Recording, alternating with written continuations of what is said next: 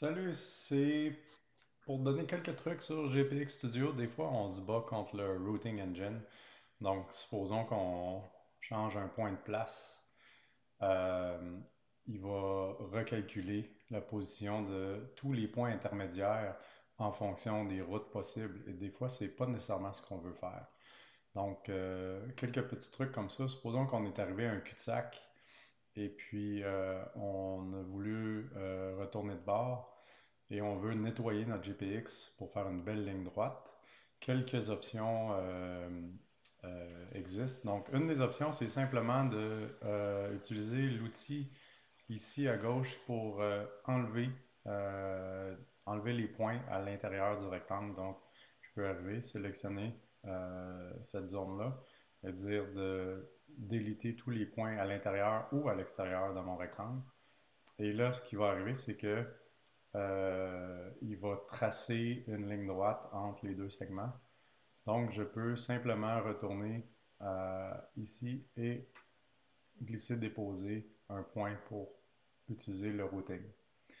Ça, c'est une façon de faire.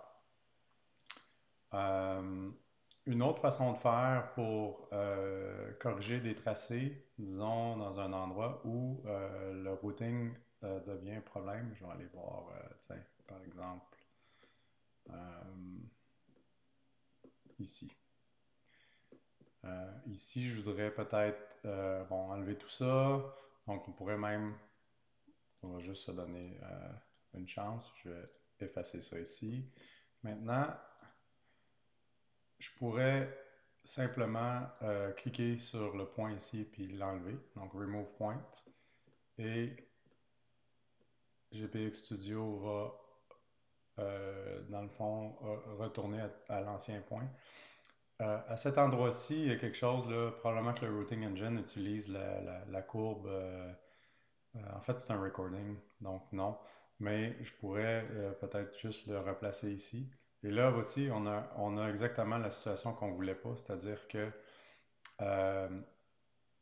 le routing engine a décidé qu'il nous ferait passer par un autre endroit alors que c'était pas ça qu'on voulait. On voulait plutôt continuer. Donc, quand ça, ça se produit, on désactive cette option-là ici, Routing.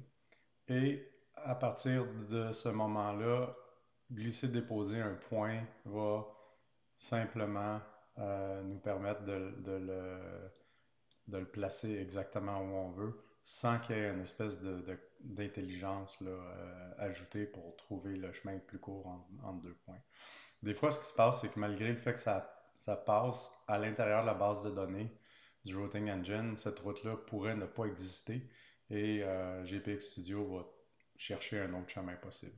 Donc, c'est vraiment la clé, c'est de temporairement enlever euh, cette, option-là lorsqu'on veut effacer des points ou euh, ou les modifier. Voilà.